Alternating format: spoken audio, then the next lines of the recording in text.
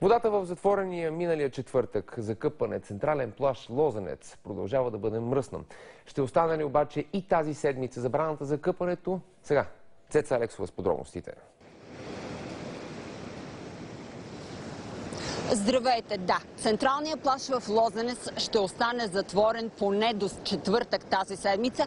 Причината – резултатите от пробите, които са взети от морето в петък и излязоха тази сутрин, са също лоши. Причината – ето тази рекичка, която се влива в морето и заедно с която в морето отиват голяма част от фекалните непречистени води от пречиствателната станция. До затварянето на плажа се стигнало след като няколко поредни седмици резултатите от взетите проби на морската вода били с много лоши показатели. Такива са и взетите в петък. Стойностите по показател Ширихия коли бяха чувствително почти на тавана на таблицата, която използваме за отчитане на резултатите. На първия пост и ентерококите също. Причината за замърсяването на морската вода е от 30 години. Пречиствателната станция е остаряла с малък капацитет.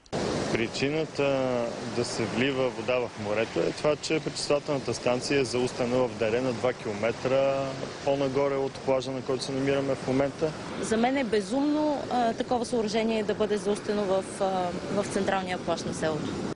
Преди две години общината е получила пречиствателната станция от държавата. След ремонт установила, че капацитетът и не е съобразен с броя на посетителите в пика на сезона.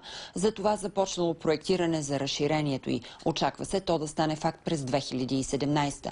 До тогава обаче концесионерът на плажа ще търпи загуби, защото по думите му в момента лозенец е празен, а трябва да плаща на спасители заплати до края на септември.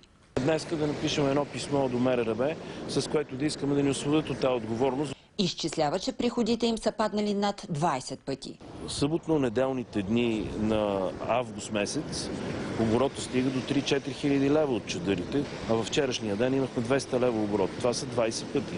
На плаша са останали само най-смелите туристи, които не се страхуват от мръсната вода. Не, не страхувам се, оздрави. Водата на пръв поглед е чиста и мисля, че влизането за кратко време не крие опасности. 46 пункта за измерване чистотата на водата има по Южното Черноморие. Другият плаж в зоната, на който са отчетени високи стоености на вредни бактерии е Повския плаж в Царево.